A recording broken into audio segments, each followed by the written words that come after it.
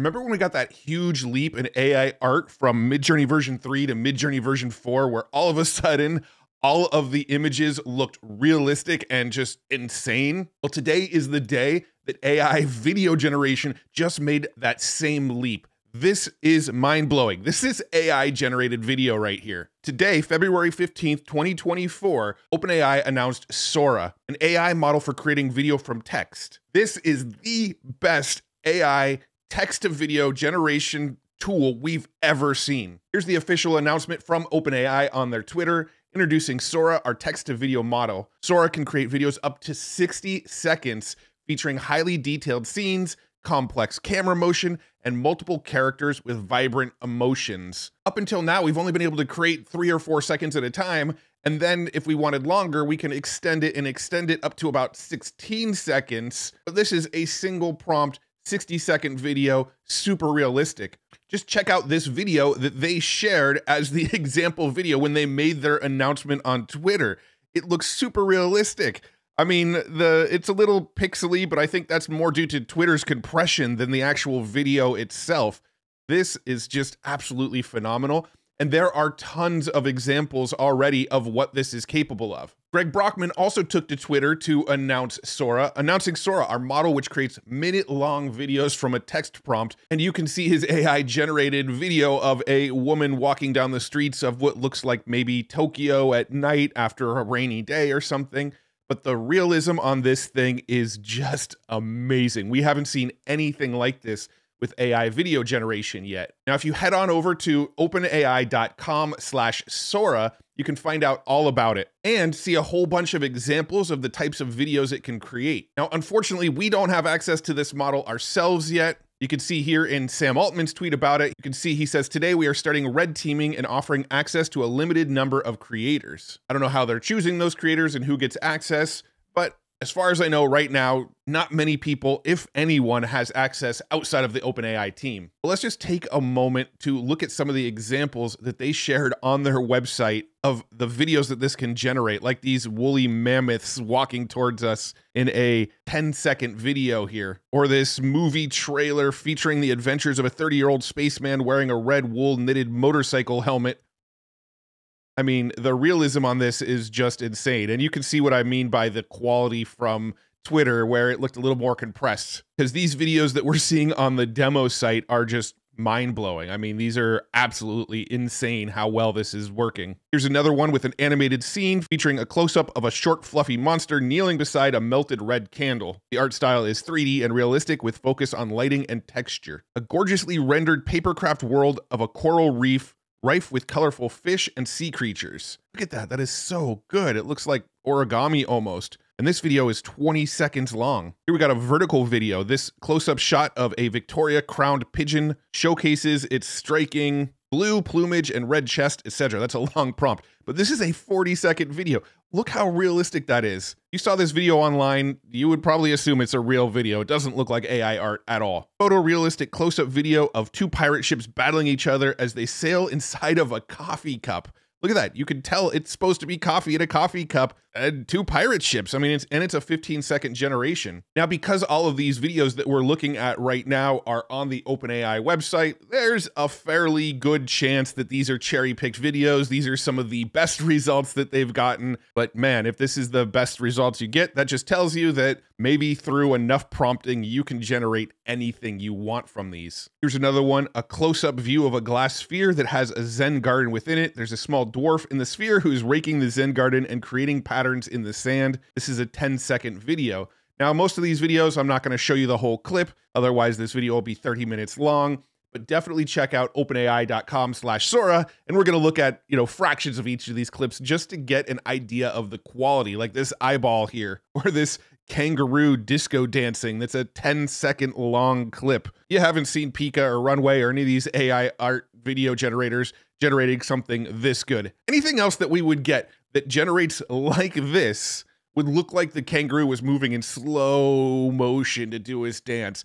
This actually looks like a kangaroo dancing. We've got a 20 second clip of a beautiful homemade video showing the people of Lagos, Nigeria in the year 2056 shot with a mobile phone camera. Look at that. Look at the realism. I mean, there's not enough, you know, adjectives for me to use to talk about how excited and blown away I am by some of these videos and how well these are coming out. The camera rotates around a large stack of vintage televisions, all showing different programs 1950 sci fi movies, horror movies, news, static, 1970 sitcom, and you can see all of these various types of things in these videos. I mean, the prompt adherence alone is mind blowing. 3D animation of a small, round, fluffy creature with big, expressive eyes explores a vibrant, enchanted forest. It says here Sora is able to generate complex scenes with multiple characters, specific types of motion, and accurate details on the subject and background. The model understands not only what the user has asked for in the prompt, but also how those things exist in the physical world. The camera follows behind a white vintage SUV with a black roof rack as it speeds up a steep dirt road surrounded by pine trees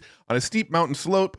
Dust kicks up from its tires. The sunlight shines on the SUV as it speeds along the dirt road, casting a warm glow over the sea. The dirt road curves gently into the distance with no other cars or vehicles in sight. The trees on either side of the road are redwoods with patches of greenery scattered throughout. The car is seen from the rear following the curve with ease, making it seem as if on a rugged drive through the rugged terrain. The dirt road itself is surrounded by steep hills and mountains with clear blue sky above the wispy clouds. Whew. All right, that's a 20 second video that used that entire prompt. And if you read the prompt, most of it made it into the video. It is just crazy. You can't tell I'm excited. Check this out reflections in the window of a train traveling through the Tokyo suburbs you can see the reflections of the other people in the train as it passes by dark scenes. There is no way you would see this on social media and assume this was AI generated. A drone camera circles around a beautiful historic church built on a rocky outcropping along Amalfi Coast. A 20 second video. Look at that. That looks like a real drone shot. It just does. A large octopus in a scene resting on the bottom ocean floor. I mean, these long prompts are working really well. Look at that. 17 seconds long. A flock of paper airplanes, 20 seconds long. Look at this cat. That cat is a realistic cat. Look at as it hits the girl's face. She like squints and her eyes move to the cat hitting her. Look at that. Oh, smash my face. A cat waking up its sleeping owner demanding breakfast. That cat, that cat is real. That is not an AI generated cat. That just blows my mind. Borneo wildlife on the Kinabatangan River. I probably butchered that name. A Chinese Lunar New Year celebration video with Chinese dragon. Look at this clip in full screen and tell me this doesn't look like an actual video clip from China or something. Maybe it's not shot on the most powerful camera in the world, but it looks real. And this site is just full of examples. A tour of an art gallery, a stop motion animation of a flower growing, a robot's life in a cyberpunk city. Look at that. An extreme close up of a gray haired man with a beard in his 60s. 20 second clip, and it is just so realistic. A beautiful silhouette animation shows a wolf howling at the moon, feeling lonely. You know, I love this clip. I love my wolves. New York City submerged like Atlantis, fish, whales, sea turtles, and sharks swim throughout the streets of New York. A litter of golden retriever puppies playing in the snow, their heads pop out of the snow covered in, and then the prompt actually cuts off. But that's a 20 second video of golden retriever puppies playing in the snow. No doubt about that in my mind. Someone running backwards on a treadmill, five gray wolves frolicking, basketball through hoop that explodes. All right, I got to see it explode. Boom.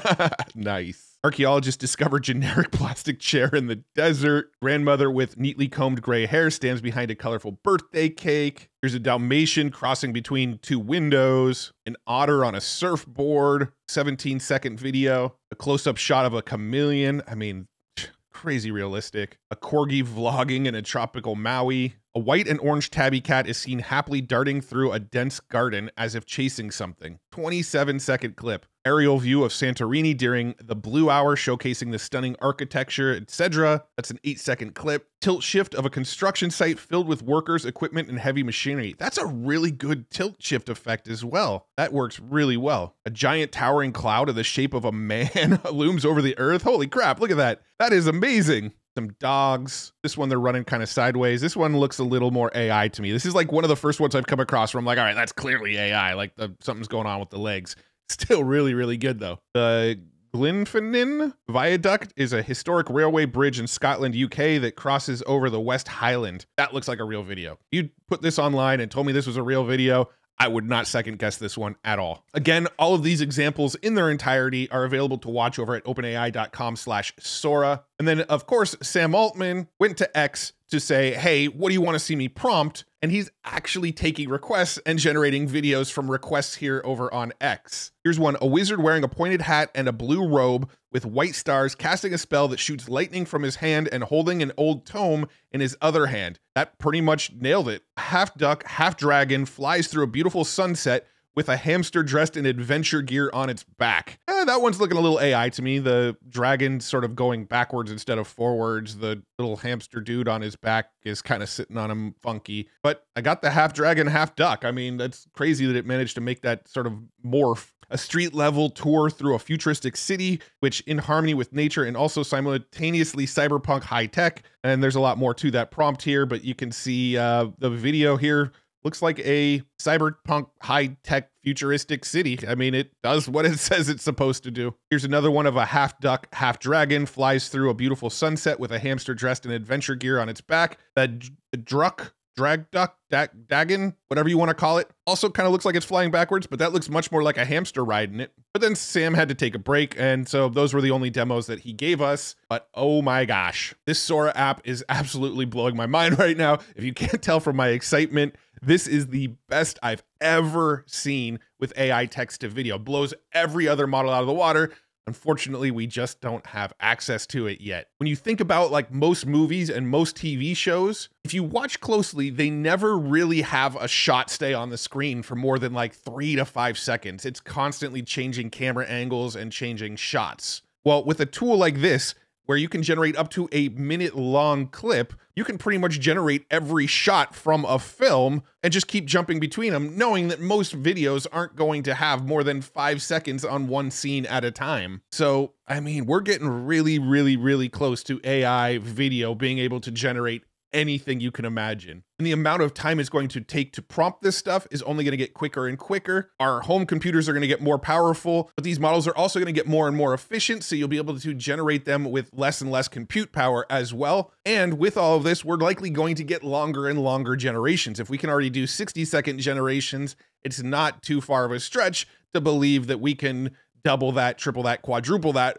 within the next year. I'm just so blown away. I can't imagine what AI video is going to look like this time next year. Like just for an example here, here's something that Garrett Scott posted on X. Here's where we were one year ago with Will Smith eating spaghetti. And you'll notice none of these clips are longer than three or four seconds long. It keeps on changing scene because you're only able to generate three or four second long videos back then. That's what we were generating one year ago today.